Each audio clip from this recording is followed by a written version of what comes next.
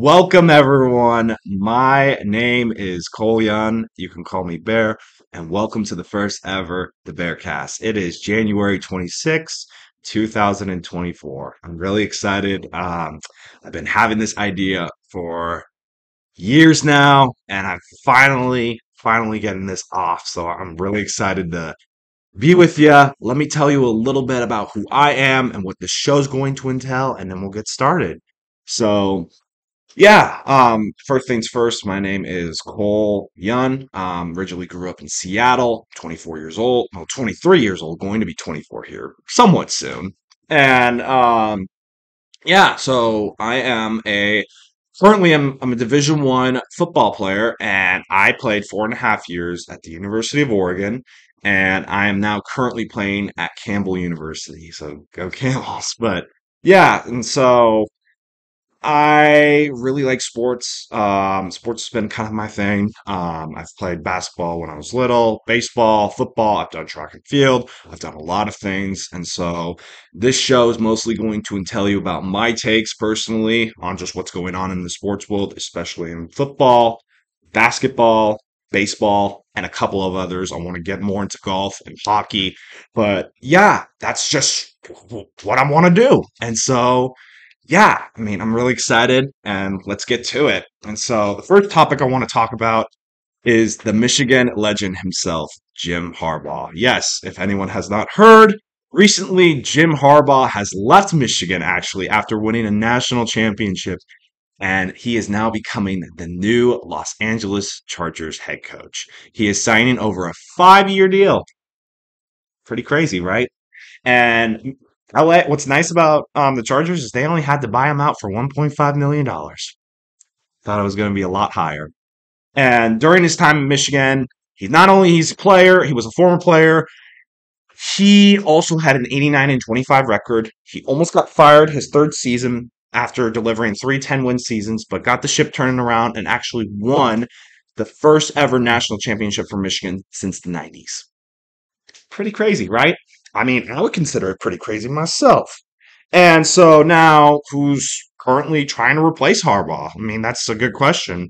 It's now the offense coordinator as well as the offensive line coach, Sherrone Moore. It's Sherrone, yeah, Sherrone Moore. And he um, took over for Harbaugh as Harbaugh was suspended for that amount of time with the NCAA. And Michigan did offer him a contract extension, which would have made him the highest paying coach of college of all of college town, college football, which I think would have been crazy. It was like over 18 million a year. It was something crazy. But um he decided to turn it down and he is now with the LA Chargers. So overall, I think this is a win-win for everyone. I think that for starters, I think Jim Harbaugh needed to leave. I think he needed to leave to Michigan. I think he needed to leave there.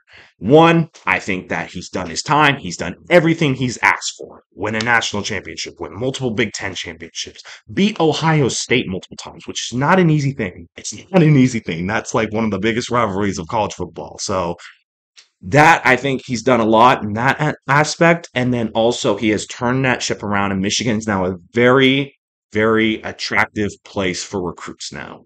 And he's also made really good talent. I wouldn't be surprised if JJ McCarthy is actually a mid tier first round pick because of what Jim Harbaugh has done with JJ McCarthy, even though I think Blake Corum and that offensive line is really, really good and their defense is really, really good.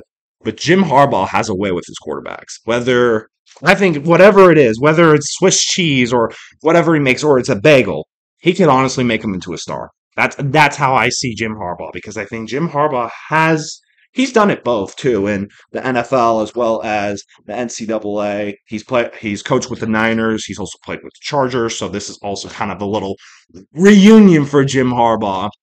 But he's also coached at Stanford, and Stanford's also a really good program. So yeah, I mean honestly, I think it's a win-win. I also think this is also a win for Michigan because Michigan will not I, I think they're going to get less violations now because they said, "Hey, look, Jim Harbaugh did all this stuff during Michigan at this time, but we, but he left. We don't have him anymore. Why should we get punished?" Which I mean, it's kind of messed up.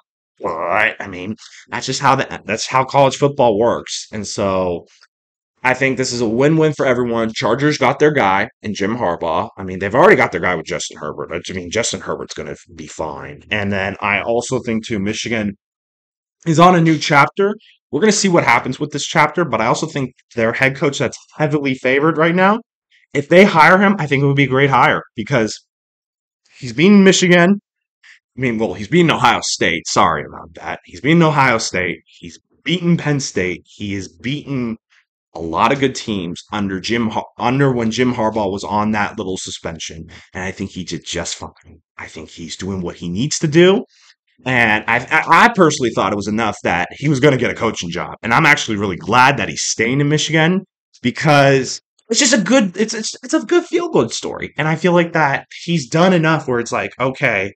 I know I can get this job now, and I think it's now going to be up to him to see what happens. I mean, it's going to be interesting how Michigan We'll deal up now with Washington, Oregon, USC, UCLA, all joining now the Big Ten, but it's going to be interesting. And I'm very, I think it's going to be an interesting chapter for Michigan progressing, but I think it's a win win for everyone. Before I move on, I also want to say this too. Make sure all your eyes are now on Justin Herbert. I think Justin Herbert's going to do just fine. But now I could see people saying, all right, Justin's got his head coach. He's got some targets. He's still got Ekeler. Yeah, you could say the offensive line needs some improving, but I mean, they're going to get Rashawn Slater back, who I think is a top three tackle in the league. So, I mean, honestly, it, it, there's going to be some eyes now heavenly pointing towards more Herbert. And I think that Harbaugh's going to get this ship fixed. I think defensively, too, I think he's going to get the right people in. I wouldn't be surprised, though, if they maybe trade some guys. I mean, Khalil Mack, I could see getting traded. I could see Joey Bosa getting the cut. I could even see Derwin James getting cut, even though I think Derwin James played his butt off last year. I mean, this year particularly, but yeah, no, I think it's interesting what's going to happen. But I am, I think it's going to be an interesting time. But I think it's a great hire for for the Chargers, and I think this is going to be a new chapter for Michigan, and I think this is a much needed new chapter. So yeah, um, Next up, we're going to talk about the Atlanta Falcons. And the Atlanta Falcons yesterday just hired their brand new coach and is the Los Angeles Rams coordinator, defensive coordinator, Raheem Morris. He was the coordinator for a while. He was during that time where the LA Rams actually won the Super Bowl in 2021 against Joe Burrow and the Cincinnati Bengals when they had Ja'Marr Chase, Tee Higgins, you know the spiel. And uh, but you know what's ironic too? He is also he was a former head coach, and his record was 21 and 30. And um, what's also ironic is that he was at Tampa in 2002, and he was an intern, and he actually won the Super Bowl in Tampa when Tampa won in 2002. So just a little food for thought. But overall, I think that this decision it's an interesting decision because they also interviewed Bill Belichick. That's also the bigger piece is that Bill Belichick was there for the taking, and they decided not to take them, not to take Bill Belichick and his posse. And that's interesting within itself because the owner has been trying to get someone like a Bill Belichick, like a Jimmy, like you know, like those big tier coaches, and big and Bill Belichick is a big tier coach. Like I think he, I mean, besides, I mean, New England, he's done really, really well. I mean, yeah, you can attribute attribute that to Brady. I mean, he's done well. But also, let's not forget, Belichick's had a really, really good defense. Jerod Mayo, he's had other good guys too. And I'm just, I'm very shocked that Atlanta decided not to hire him. But I also think it's kind of a smart move. I mean, you're going to get someone that's younger. People don't really know him as a head coach. I actually had to look up this research to find out that he was actually a head coach before he was the Rams DC. Even though he was 21 and 30, he was a young buck back then. People make mistakes when they're young. So I think not only I think he's going to bring Raheem Morris is going to bring a new energy. I think this is also a good move for the Falcons because Bill Belichick, I feel like he's going to put his paw on there. And what's interesting about it now is that Bill Belichick's probably not going to get a head coaching job. I mean, Seattle's not going to get. I don't think they're going to get Belichick. I think that's not their way. The Commanders, I've heard Dan Quinn's probably going to go. And then I would also, and then you also got the um the Panthers hiring the Bengals. Would, yeah, they hired a new guy. The Titans hired the Bengals OC, not not the Panthers, but still, like everyone's gotten their jobs. but not Bill Belichick. So that's interesting to point out. I think it's interesting how all that's going down, but I think it's honestly a good move for Atlanta. I think they need a little bit of younger blood.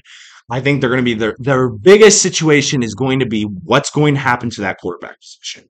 I mean, Raheem Morris is going to do a great job as the new head coach, and he's going to bring his guys. He's going to bring his guys, and I think they're going to do a good job defensively. It's where off offense is the big concern. I think Ridder is not great. I think they need to move on from him. You could get a Russell Wilson, or you could draft Young. I think they should draft Young, go Michael Penix. But um, we'll see what happens. I mean, Atlanta has a lot of good opportunities ahead of them, and I think that I mean, yeah, they're going to have Bijan Robinson. They're still going to have that offensive line. But honestly, we'll see what happens. We'll see what happens, and um, we'll go from there. We'll go from there. I mean, we're going to see what happens. But I think Atlanta, I think they're on the right trajectory. They are on the right trajectory. And next, let's talk. Besides talking about the recent head coaching stuff, we got some football games this weekend. The Baltimore Ravens will be playing against the Kansas City Chiefs as well as in the NFC Championship game, the San Francisco 49ers will be playing against the Detroit Lions. So I want to give you guys my predictions on it. Who I think is going to win? What are the keys? We're going to see what happens. But um, I think for the AFC game, I think the Ravens will win this game, but I think it's going to be closer than what everyone anticipates. I think it's going to be 27 24. Um, the biggest key that I see within this game is how are you going to stop Lamar Jackson?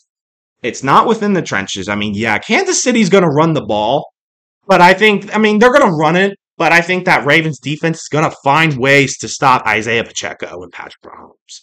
And yeah, I mean, Kyle Hamilton's going to have a great matchup against Travis Kelce. And I think that's also another key we need to watch is Kyle Hamilton versus Mahomes, Reid, and Kelce. Because I think Andy Reid's going to find some plays or find some little little it's, it's it's like with football when you're doing scouting and this is what I've learned at my time and I mean I'm still learning this you always find little details when I was with when I was looking at certain guys I mean I played against KT like and, and even if it's in practice I mean KT was my teammate I'm just using that as an example you look at certain moves okay this dude likes doing the chop rip or and that relates to all positions. So I'm sure Travis or like Travis and Andy have probably been working together extra hard on the film. And um, I'm sure they're seeing, okay, this person does this a little slightly. How about we do it this way, just to tweak it a little bit? And those fine, subtle movements are going, to, I think, are going to determine how Kyle Hamilton does. And don't get me wrong, I think Kyle Hamilton is a superstar. I think he's done a great job. I think he's actually one of the biggest steals in any draft. I think he should have been the number one pick and not he he went to number 14, which I thought was crazy. And I'm surprised Seattle didn't pick him up. But um overall though I think it's going to be a fun game. I think those are the two big keys, but I really think Lamar Jackson's just on a different level. I think he I don't think pers- personally he shouldn't win MVP, but if he if we had to choose a quarterback to win the MVP, it would be him. Personally, I got Christian McCaffrey ahead of him. And speaking of Christian McCaffrey, I think this is going to be a very very big day for the NFC championship wise. And my biggest key for this game is actually the trenches. I think that it's going to come down to which D line wants it more. I mean, both of those O lines, Trent Williams, uh, Colton McKivitz, they've done really, really well. They've done really, really well to protect Brock Purdy. And I mean, yeah, we'll see what happens with Deebo. That's also another key. But I think that either if it's Deebo or not, they still got Christian McCaffrey. I mean, Christian McCaffrey is easily the best running back in the NFL. How come people are saying, oh, well, San Francisco's not going to win because of Deebo Samuels? Christian McCaffrey's on a different level, and could be the MVP favorite. Like this dude has just been going, going, and going. Not he's been running the ball really, really well, he's also has he can catch now. He can catch really, really well. And a certain time that people didn't realize he had a touchdown every single game until this year, which broke it. Think about that. I just I don't get it why people are like, well, Detroit's gonna win. I know people don't really like San Francisco. And don't get me wrong, I I don't like them too. But I, I'm coming at it from a realistic standpoint, and I know the defense is going to show up. I know that Chase Young, Nick Bosa, um, Hargrave, they're all going to do a great job. And Fred Warner is honestly the best thing San Francisco's ever had. I mean, that's their version of Bobby Wagner. And I think he is a hard hitting, nose, grind to grind guy. And yeah, my boy Demo's there. He gonna he gonna strap it up. He gonna strap it up. But honestly, I mean, I just see them strapping it up. And I mean, Detroit. I mean, give props where props is due. I mean, my boy Penei, he's going to do really, really well. He is the leader of that offensive line, and I know, you know, he's not going to give up without a fight now. And Jared Goff has done good. And I've kind of been, I mean, I've always said this before. If you give Jared Goff a good system, which I think Ben Johnson and, um, oh, oh Dan Campbell, I'm blanking on his name, Dan Campbell have given to him, I think he can be very, very good. And that's what it is. He is a great system quarterback and he's doing a really good job, in my opinion. A really good job. He's done what he needs to do. And that's all what you can ask for. And I think they are, both of these teams are very run centric. So I think they're going to run the ball as best as they can. Yes, Ahmad St. Brown there. I'm sure they're going to give him targets. But I think that's also another key, just thinking about it, is the DBs. What, who, which side's going to give up more passing yards? Because I think that's going to help things with whoever wins because mm-hmm. I think it's all going to be about running the ball, trying to run it up your throat, and then trying to fake it with a play action. That's how I see it. And so I got San Francisco winning this 21 to 10, but I also think too this is going to be a closer fight than what people see on the scoreboard. And so yeah, I'm very excited to see what's going to happen, and I think it's going to be interesting what happens with the Super Bowl because I think whoever, whoever, I, to be honest, personally, whoever wins the AFC game, in my opinion, is going to win against the NFC. So we'll see what happens, but I'm very excited for both of these matchups. I think they're going to be fun and electric, and I think people are going to be very, very excited. All right, now let's transition into some basketball.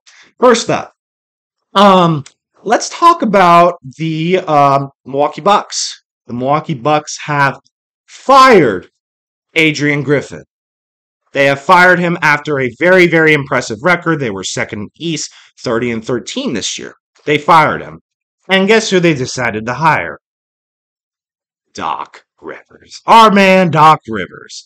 And don't get me wrong, and he's only won, Doc Rivers has only won one final. But what's interesting is that I was actually listening to JJ Redick's podcast. I like JJ Redick. And he said that there's no way Doc Rivers is going to make them win the finals now. And you know what? I agree. I agree. Doc Rivers is not your coach. Yet there was one other coach that I think people just blackmail for no entire reason, and that was Mark Jackson. Mark Jackson deserves to be a head coach in the NBA again.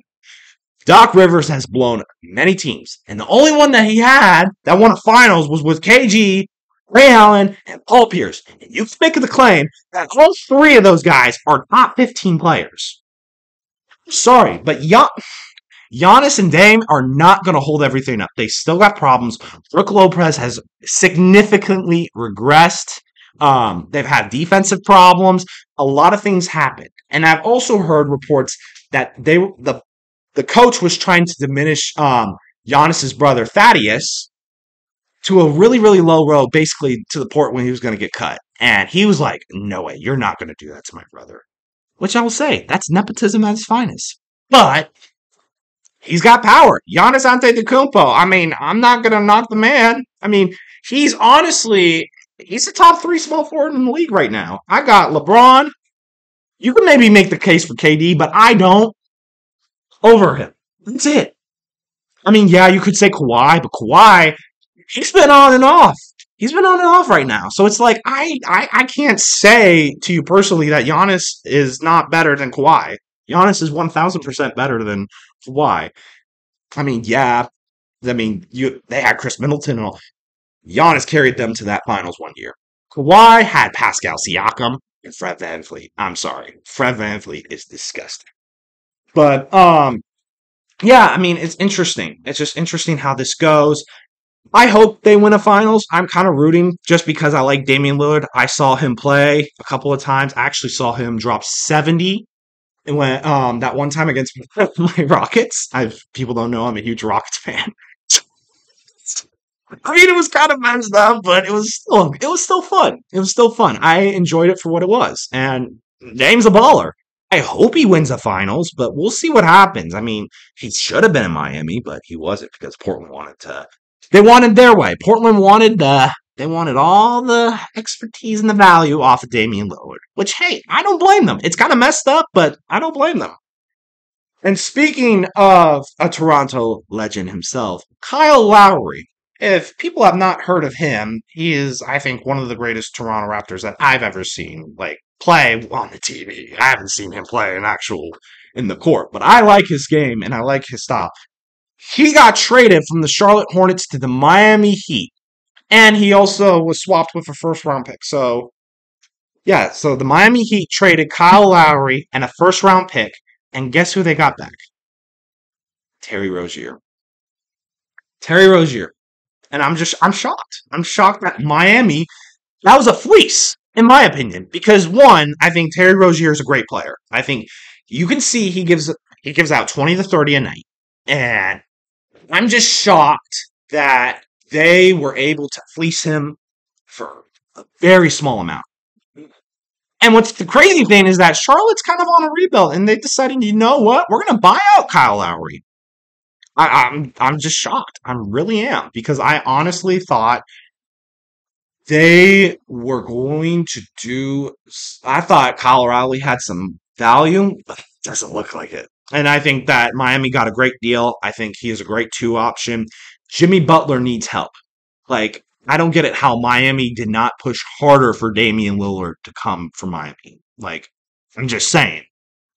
But Terry Rozier, I think they match their personalities. I think Terry Rozier actually matches somewhat of Jimmy Butler's gameplay. And I think that if Jimmy needs to pass it, I think they finally got a good shooter in Terry Rozier. And so I like this move from the Miami standpoint. I think Charlotte's kind of on a rebuilding situation. So I get it. I get it. It's not really a fleece, in my opinion. But I will say that first round pick is a protected pick, and it's all the way down there, I think, to like 2028, 2029. And if it gets to like 2029, it's unprotected. So honestly, I think it's a good deal for the Miami Heat. I think this this is a huge win for them. Charlotte's kind of on a rebuild, and they also have LaMelo Ball. And I, I just don't get it why they haven't put enough supporting cast around him because LaMelo Ball is an all star. I mean, um, he should be. I mean, he's been really, really good, but I know it's been kind of on and off, and he's been it's been nicked up and dinged. But I mean, what he plays, he's an all star. So that's how I see him. And speaking of all stars, let's talk about the All Star selection. Um, yeah, so the All Star, the All Star selection and the picks happened, and we found out who our starters are. So on the West, we got Shai Gilgeous Alexander, Shai Gilgeous Alexander, Luka Doncic, Luka Doncic, LeBron James, Kevin Durant, and Nikola Jokic. Those are for your West. Now for the East, this gets a little controversial. And so, um, for point guard, we got Tyrese Halliburton. He is with the Indiana Pacers. He's had a really good year, but this is where things get a little interesting.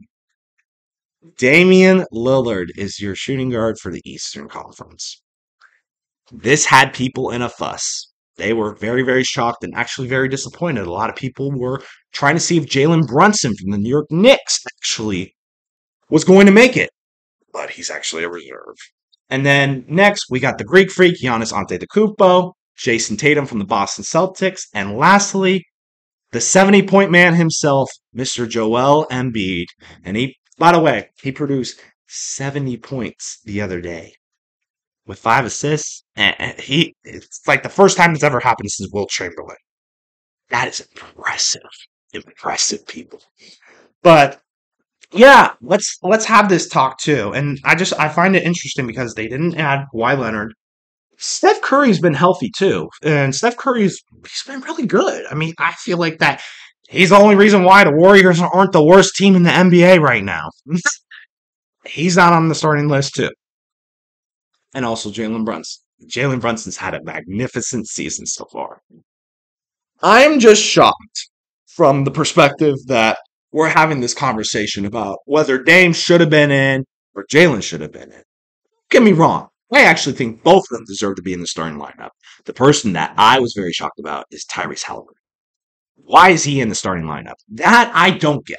I mean, don't get me wrong, he's had some great games this year. He put on a show against the Milwaukee Bucks. He put on a show. But Jalen Brunson's been on a different level. I mean, and, and it's Dame Dollar. I'm not surprised they're not going to put him. I mean, I'm su- I'm not surprised that they are putting him in the starting lineup. Not surprised because Dame Dollar, it, I mean, he is an, he is box offense talent. This dude can literally pull up from the full court range or half court and just swish it like no day like tomorrow. I mean, we need to have a discussion too about Jalen Brunson. He should be a top 10 player in the league, in my opinion. He should be. But also, Damian Lillard, too, is really, really good. And I think he's actually one of the best three point shooters of all time.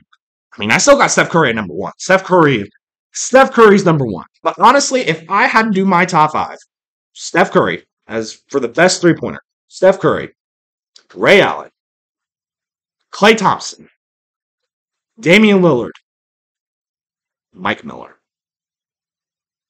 Reggie Miller would be um number six. I gave you top six, but I should have gave you top five. I'm just shocked that we're having this discussion. But don't get me wrong, I'm I think Jalen Brunson's done an amazing job. I think there's there's a lot of good things going on, but I just I find it interesting that they're not gonna award him as a starter. I just I just find that weird. So yeah. Well, this is it. First episode is officially concluded. Um, thank you again for listening to this whole entire time. I just want to thank you again. And um, stay smooth, everyone. Have a good weekend. Um, I'm planning to upload once a week. Make sure you subscribe, you like to the page, make sure you have that notification bell, make sure you have all of that to make sure you keep in contact. Stay safe, everyone. Have a good weekend.